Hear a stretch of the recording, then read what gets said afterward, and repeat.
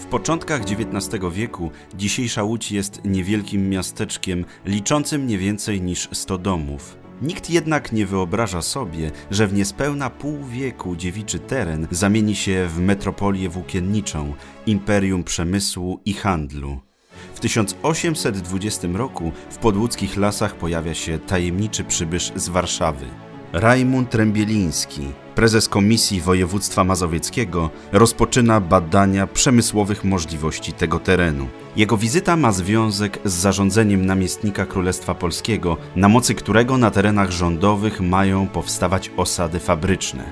Rajmund Trębieliński, warszawianin, bohater insurekcji kościuszkowskiej i wojen napoleońskich, pełni różne stanowiska w administracji państwowej. Od 1816 roku jest prezesem Komisji Województwa Mazowieckiego, czyli nieformalnym wojewodą centralnych regionów Królestwa Polskiego. Jako pierwszy rozpoznaje atuty łodzi, takie jak duży, niezagospodarowany obszar, rzeki, których szybki nurt miał służyć do napędu maszyn, młyny nadające się do przebudowy dla potrzeb przemysłu, lasy zasobne w drewno, położenie przy trakcie piotrkowskim. Latem 1820 roku Rębieliński dokonuje objazdu po województwie i tworzy plan jego uprzemysłowienia. 18 września plan zatwierdza Rada Administracyjna Królestwa Polskiego. 30 stycznia 1821 roku Komisja Rządowa Spraw Wewnętrznych i Policji powierza Rębilińskiemu utworzenie osad sukienniczych, między innymi w Łodzi, Gostyninie, Przedeczu i Zgierzu. Rajmund Rębieliński zaczyna planować przyszły rozwój Łodzi, wyznacza miejsce na rynek nowej osady oraz określa kierunek przyszłych ulic.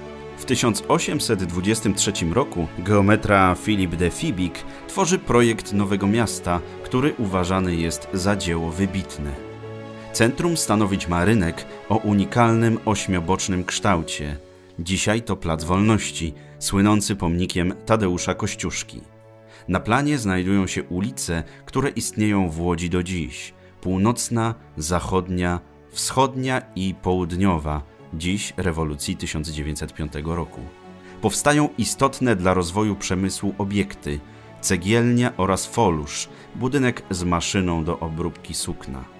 Cechą charakterystyczną jest układ działek o równej powierzchni, co stanowi odbicie XIX-wiecznych kanonów preferujących regularne układy geometryczne. Do miasta zaczynają napływać zawodowi tkacze, których przyciągają nowe możliwości zaczynają powstawać zakłady rękodzielnicze połączone z domami mieszkalnymi. Dziś typowe domki tkaczy oglądać można w Centralnym Muzeum Włókiennictwa w Łodzi. W 1824 roku na południe od Nowego Miasta powstaje nowa osada Łódka. Jest pierwszą i największą w Królestwie Polskim osadą wyspecjalizowaną w produkcji lnianej i bawełnianej.